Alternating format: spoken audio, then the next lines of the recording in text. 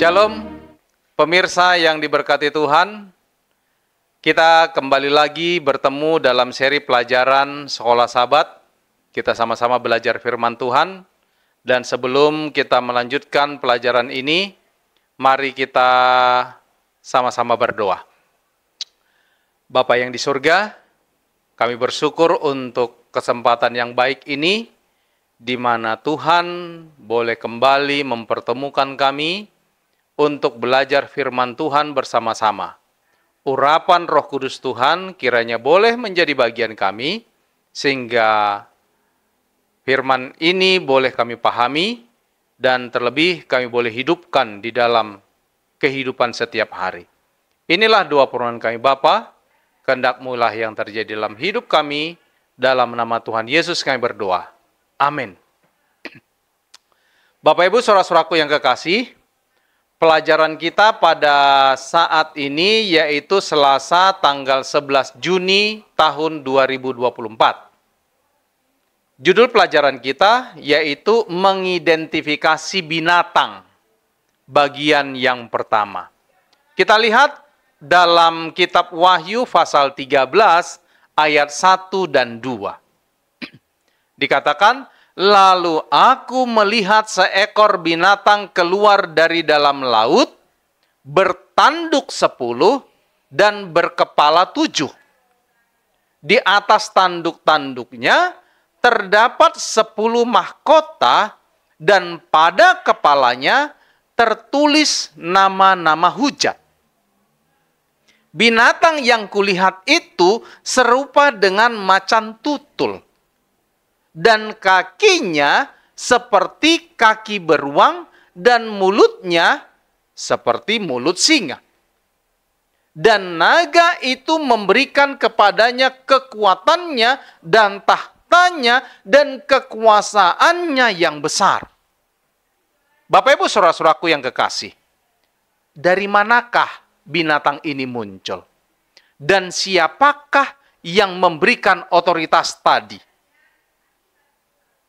Kitab Wahyu mengidentifikasi naga secara utama sebagai iblis Bapak Ibu sekalian. Kalau kita lihat dalam kitab Wahyu pasal 12 ayat 3 sampai 5 di sini mengatakan bahwa naga itu berusaha untuk menghancurkan. Dikatakan segera sesudah perempuan itu melahirkannya seorang anak laki-laki yang kemudian dibawa lari kepa ke kepada Allah dan ke tahtanya. Itu adalah iblis yang bekerja melalui Roma kekafiran yang berusaha menghancurkan Kristus.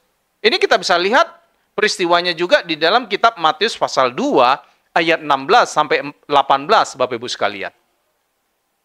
Musuh utama Allah Bapak Ibu dan manusia ini bekerja melalui lembaga-lembaga politik dan agama untuk mencapai tujuan-tujuannya.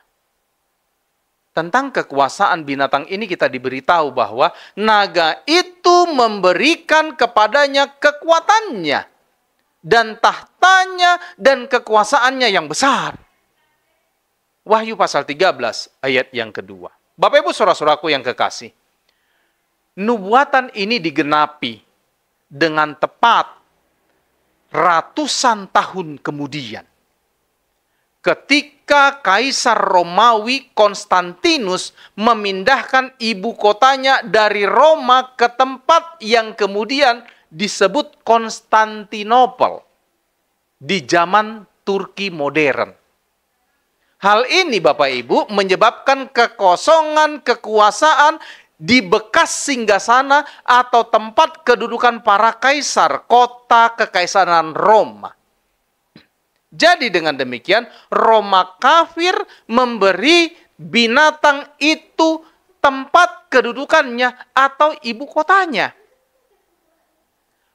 Isaac Bak Bakus menyatakan dengan memindahkan tahta kekaisaran Roma ke Konstantinopel, dikatakan Konstantinus memberi jalan bagi uskup Roma untuk meninggikan dirinya di atas semua manusia di bumi dan di atas Allah surga. Ini terdapat dalam buku yang berjudul The Infinity Importance of the Obedience of Faith and Obspiration for, from the Word terdapat di dalam halaman 16 yang dikutip dari Leroy Edwin Fromm The Prophetic Faith of Our Fathers. Jilid yang ketiga, halaman 213. Bapak Ibu Saudara-saudaraku, menurut Thomas Hobbes, dikatakan kepausan tidak lain adalah hantu kerajaan Romawi yang telah meninggal. Keduduk duduk bermahkota di atas kuburannya. Ini terdapat dalam Levi, Leviathan, dalam New York Oxford University Press tahun 1996 di halaman 386. Saudara-saudara sekalian, analisa atau analisis yang cermat mengungkapkan bahwa binatang laut di Wahyu pasal 13 adalah kekuatan agama murtad yang muncul dari Roma dan menjadi sistem penyembahan dunia. Ini Wahyu pasal 13 ayat 3 dan 4. Bapak Ibu sekalian, binatang ini bukanlah manusia. Itu adalah organisasi keagamaan yang telah menggantikan kebenaran firman Allah dengan keputusan manusia. Kita baca dalam kitab Wahyu pasal 13 ayat 1 dan 6. Dikatakan, Lalu aku melihat seekor binatang keluar dari dalam laut, bertanduk sepuluh dan berkepala tujuh. Di atas tanduk-tanduknya terdapat sepuluh mahkota dan pada kepalanya tertulis nama-nama hujat. Ayat yang keenam, lalu ia membuka mulutnya untuk menghujat Allah, menghujat namanya dan kemah kediamannya dan semua oh dan semua mereka yang diam di surga. Bapak Ibu saudara-saudaraku yang kekasih, kata kunci apakah yang digunakan untuk mengidentifikasi kuasa binatang itu? Kata kitab suci mendefinisikan penghujatan dalam Yohanes 10 ayat 33 dan kitab Lukas 5 ayat 21 dengan dua contoh Bapak Ibu sekalian. Yang pertama, seseorang yang berpura-pura atau mengaku sebagai Tuhan. Dan yang kedua, seseorang yang mengklaim memiliki kuasa untuk mengampuni dosa. Bapak Ibu sekalian, tuduhan-tuduhan ini tidak adil karena Yesus benar-benar Allah dan oleh karena itu memiliki hak untuk mengampuni dosa. Kepausan Roma memiliki dua doktrin khas yang disebut kitab suci sebagai penghujatan. Pernyataan pengakuannya bahwa para imamnya memiliki kuasa untuk mengampuni dosa dan bahwa paus dikatakan memiliki hak prerogatif Allah di bumi ini.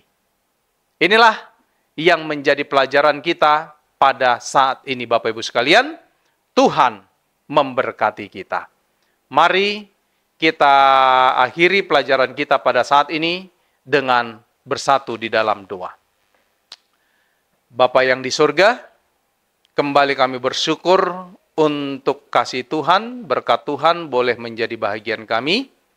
Melalui pelajaran ini, kami boleh diberikan gambaran untuk boleh memahami siapakah binatang yang disebutkan di dalam kitab suci yang melambangkan lawan dari kebenaran firman Tuhan atau musuh dari Yesus Kristus yang juga secara otomatis menjadi musuh bagi setiap umat-umat Tuhan yang percaya kepada Yesus Kristus. Bapak yang di surga, biarlah kiranya urapan roh kudus Tuhan membantu kami agar kami boleh ditolong untuk memutuskan tetap memilih menjadi pengikut Yesus. Bapa yang di sorga, Tuhan berkati seluruh pemirsa yang turut bersama-sama dengan kami belajar firman Tuhan ini. Biarlah Tuhan yang melindungi mereka, Tuhan yang menguatkan mereka, Tuhan yang memberkati setiap langkah aspek kehidupan mereka. Kiranya Tuhan boleh mengizinkan kami untuk bertemu kembali dalam seri pelajaran yang selanjutnya, di mana kami boleh sama-sama tetap belajar akan firman Tuhan. Mohon ampun segala dosa selain kami Bapa. Kendak mulai yang terjadi dalam hidup kami, kami persembahkan doa peran kami ini hanya melalui anakmu Yesus Kristus yang menjadi Tuhan dan Juru Selamat kami. Amin.